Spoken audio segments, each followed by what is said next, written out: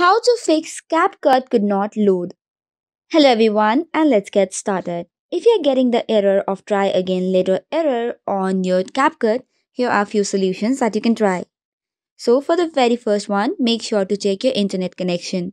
You can turn off the Wi-Fi once and turn it on again. Now for the next step, go to the CapCut application. Once it is opened, you have to click on the setting icon on the top right corner. After that, scroll down a bit and click on Clear Cache. Once the cache has been cleared completely, let's move on to the next step. Return back to the home page and long press the CapCut application. Tap on App Info and then you have to tap on Force Stop. Also make sure to tick on permissions and check if all the permissions requested is available or not.